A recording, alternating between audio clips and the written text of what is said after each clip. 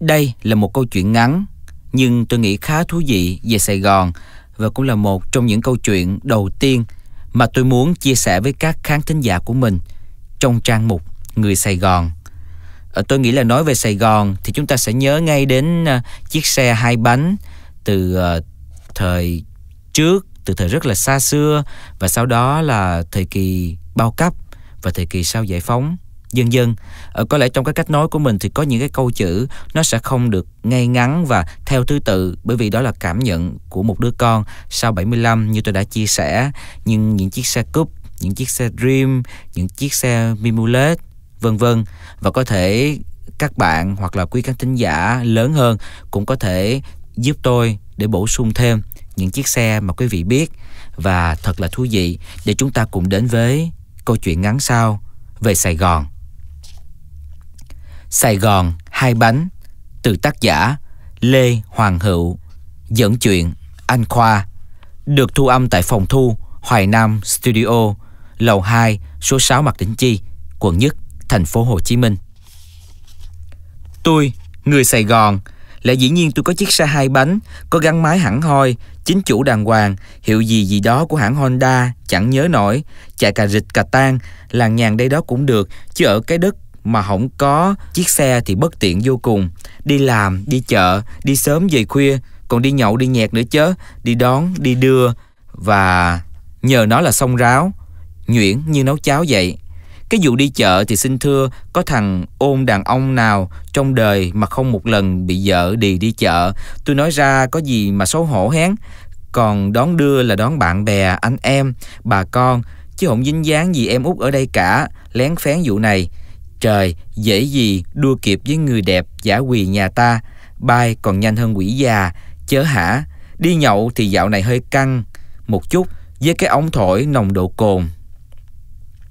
Sài Gòn ngày nay, người đông đúc, lẽ dĩ nhiên xe hai bánh cũng nhiều quá xá. Sài Gòn như được cổng trên xe hai bánh vậy, kẹt xe cũng nhiều, ai ai cũng ngán, Riêng tôi thấy có gì ghê gớm lắm đâu, kẹt xe thì được liếc ngang liếc dọc, những eo thon, chân dài, mắt nai, gần gần gũi gũi bên ta, bỏ qua khói bụi, có khi còn may mắn hưởng làn gió, thoảng hương nước hoa, thơm lừng nữa chứ bộ, mơ mơ màng màng, trước sau gì lại không về tới nhà. Cái kẹt mà tôi ngán nhất thiệt tình là kẹt tiền. Với tuổi nhỏ chạy rong thì không có tiền thì không có kem còn tôi không có tiền làm sao có xe? Tôi thứ sáu, cái đầu có tật niên niễn, bà già nói hồi nhỏ tôi khoái ăn trứng gà mà ăn lẻ hoài nên bị trì xuống một bên. Tôi có thêm cái tên Sáu Quỳnh, sợi dây thần kinh cũng quỳnh theo cái đầu. Chuyện nhớ, chuyện quên, chuyện cần nhớ lại quên hay nhớ chuyện tào lao, vợ dặn mua bí đao mang về, đưa bí đỏ, rồi nghe cà khịa ăn bí đỏ cho bổ óc, bớt quỳnh. Mang máng nhớ những năm trước 75, Sài Gòn xe hai bánh khá hiếm. Nhà nào tậu được là thuộc hàng quý tộc. Công chức, thầy giáo thường gắn với chiếc Honda Dam kiều nữ, con nhà giàu lả lướt với tà áo dài thơ mộng, cũng với chiếc này, mấy đại ca giang hồ tứ chiến dân chơi anh chị, chơi Honda 67 và các công tử xài thành lấy le, lạng qua lạng lại trước cổng trường, nữ cởi con chiến mã 67 này, bóp con, nhả con, vọt tới, gửi lại tiếng pô, đi vô tim các nàng nữ sinh để lấy điểm. Lãng tử hào qua phong nhã thì đã có xứ sở mì ống, cung cấp chiếc Lambetta hay Vespa. Những năm đầu sau thống nhất, ngó trước ngó sau chỗ nào cũng khó khăn, xăng khan hiếm như vàng, xe bốn bánh phải chạy bằng thang, nhiều lúc cái quạt máy bỗng dưng nó đứng, cái bếp không chịu đỏ lửa, anh lơ xe phải mượn cái nón lá của mấy bà, mấy cô hì hục mà quạt, mất luôn hứng thú gẹo những bóng hồng xinh đẹp. Có khi xe chạy về miền quê, cắt cớ rớt cục than hồng xuống gian đường, gặp cỏ khô như cá gặp nước, bốc hỏa mù trời, báo hại bà con nhà cạnh đường dọn đồ chạy, muốn xịt khói. Trời đất, đang nói chuyện này lại dông dài chuyện nọ. Trở lại với hai bánh, lúc này không có sáng kiến cái bếp nào cho nó nên đa số đành treo dàn khói chờ thời hay chuyển công năng sử dụng thành vận tải hàng hóa. Honda Dam 67, thồ cá, thồ gạo, chở rau, chở cháo lòng, ngon nhất là Z3. Phía dưới, bẩn rộng thênh thang, chịu khó, có khi nhét được cả con heo nái cả tạ, chạy bon bon, êm ru bà rù cho đến những năm của 1980 rộ theo phong trào hợp tác lao động là những chiếc xe của Liên Xô, của Tiệp Khắc, của Đông Đức được gửi về nào là Simpson, Remin, Java. Nhiều phải kể là Babetta, cổ cao, tiếng kêu re re chạy te te chỉ lên dốc thì hơi kiệt quệ buồn cho cái anh gian bóng một thời này gặp dân chơi đồ cổ ngày nay cáp cho cái tên của anh ba dân nhậu quát cần câu. Ba bét nhè thời quanh liệt nay còn đâu mặc cảm bị hắt hủi quá đi thôi. Không như các chú bác dù xưa thật là xưa velosules, mobilet sas hay vespa dân dân. Nhắc tới Mobilet, mấy sợi dây thần kinh trong cái đầu niễn tôi bỗng giật giật, nhớ cái chuyện thời sinh viên, quá chừng, thương thêm những thằng giống mình nữa. Cái số hoàn cảnh này không phải là ít, giờ lại gặp tri cố, cụm ly, râm ran chuyện cũ, cười ra nước, có cả nước mắt ngậm mùi. Mobilet, số là các ca các cụm tiền học bổng, ăn dạ bà già nhiều lần.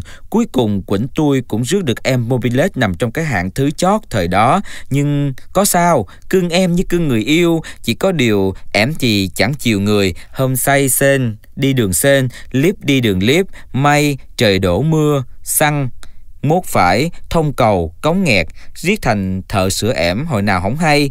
Thời nay ai chơi đồ cổ thầy thợ đâu ra lo kiếm miếng ăn muốn khùng điên cán cuốc rồi. Nhưng mấy chuyện nhỏ đó nhưng mấy chuyện nhỏ đó có đáng là gì? Với cái thắng không ăn thắng bằng dép là thứ chính.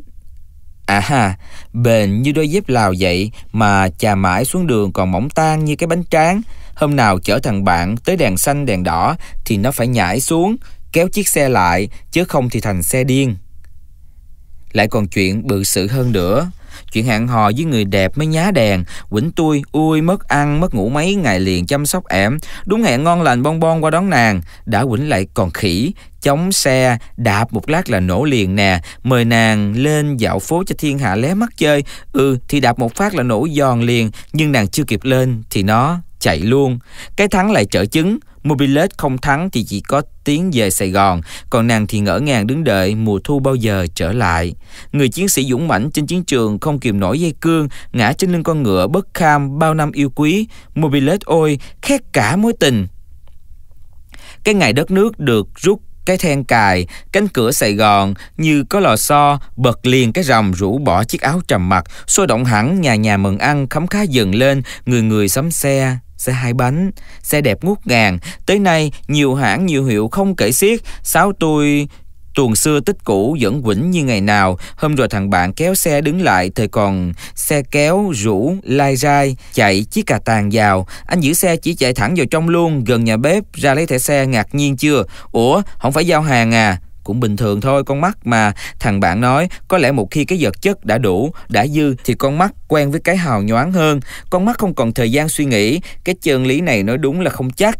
Nói trật thì sợ bạn buồn, đành gật gật, gấp miếng mồi, ậm ừ giả nghẹn, làm chơi vậy mà nghẹn thiệt, sặc, uống đứt cần cổ.